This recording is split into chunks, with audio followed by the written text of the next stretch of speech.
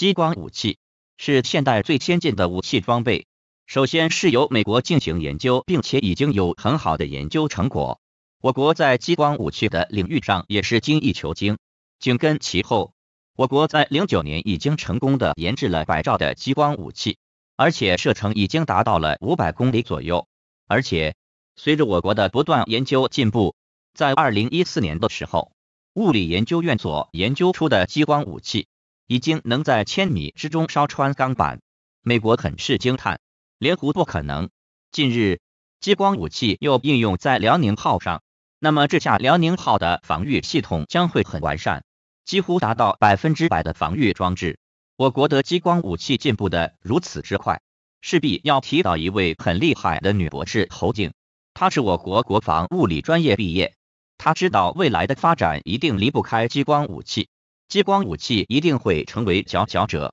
所以他在实验室一刻不停的进行研究，终于十几年的不断钻研下，带领着我国的激光事业走进了世界，并且还打破了美国的记录，将我国的激光武器至少提前了三十年时间。这些科研人员为我国的国防研究一直默默奉献，不辞辛劳，实在是最可敬的人。我们向这些科研人员致以崇高的谢意。